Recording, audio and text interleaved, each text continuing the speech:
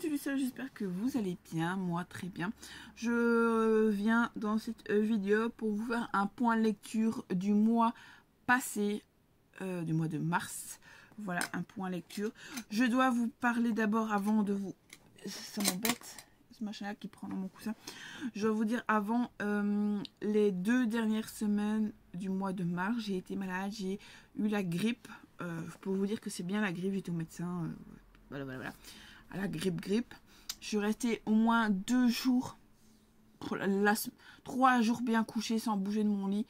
Euh, je ne savais plus bouger, j'avais plus de voix et encore aujourd'hui c'est encore limite pour la voix parce que je commence à perdre, je, sens que ça commence à me gratter.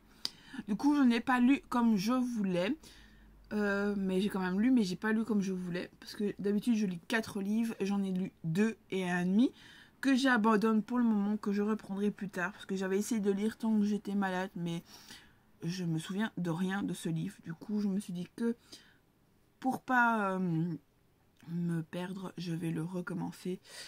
Et, euh, mais je ne recommence pas tout de suite, je le recommencerai plus tard. Voilà. Du coup, pour commencer, j'ai lu euh, Eleanor Engray de chez Hugo dans la collection de romans de Brittany Detchery. Euh, c'est une valeur sûre. Euh, j'ai adoré ce livre. Je l'ai bouffé. Euh, du coup, on va suivre l'histoire de ce papa qui a perdu sa femme et qui tient ses deux enfants, je sais, je dis pas de bêtises, ses deux enfants et Eleanor euh, a perdu son travail et du coup elle va rechercher euh, son du travail et elle fait babysitting pour euh, enfants. Du coup elle va arriver chez Gray et elle va faire son, son entretien avec la mère de la femme qui est décédée de Gray. Voilà. Et du coup, celle qui est engagée, du coup, s'est engagée, mais elle connaît elle connaît Gray depuis très longtemps, c'est de son enfance. On le suit du début, une partie du début, euh, leur enfance, et puis on le retrouve plus tard. Voilà. Et euh, il va se passer plein de choses. Lui, il a pas le décès de sa maman. Enfin, de sa femme, sa maman. Sa femme Pourquoi dis sa maman? Sa femme Du coup, il délaisse beaucoup ses enfants qui sont sur le côté. Je regarde parce que mon chat fait des bêtises. Et du coup, il abandonne complètement ses enfants. Il laisse aux mains de euh, la mamie et euh, à la nounou. Parce qu'il a eu plusieurs nounous, mais les enfants sont tellement, tellement pas gentils. Parce que eux, elle veut leur papa. Voilà. Mais Gray va réussir à s'approcher des enfants et euh, à trouver le petit, la petite faille. J'adore, voilà. Et voilà, et elle, elle va euh, essayer de remonter toute la pente de cette famille et qui, ce qui va se passer non plus. Il y a peut-être une petite romance, un beaucoup de romance. Ça, c'est à vous de voir. J'ai beaucoup aimé. Il a une bonne note. Pour moi, c'est un petit coup de cœur. Euh, je ne le mettrai pas 100% un coup de cœur, mais un petit coup de cœur. Un petit coup de cœur. On va dire 1% de coup de cœur. Euh, voilà, j'ai adoré cette histoire. Je vais continuer parce qu'il y a les autres. Il y a, je ne sais plus le nom, mais il y a les autres. Du coup, je pense me les faire aussi bientôt. Après, j'ai lu 360 jours euh, de euh, Blanca Tilkashkash, je sais pas comment ça se dit, chez Hugo dans la collection Nous Romans. J'ai lu beaucoup de Hugo ce mois-là.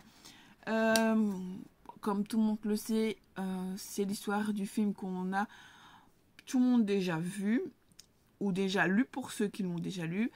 Moi, j'étais à moitié conquis de cette histoire. Euh, le moment où il n'y a pas de... Hum, le début, quand il a déjà qui euh, kidnappe euh, la jeune demoiselle, je ne sais plus son nom, euh, Tressia, Tressia, Tressia, enfin soit je ne sais plus le nom, mais le, tout le côté où non consentement qui me plaît pas, le reste, j'ai bien aimé.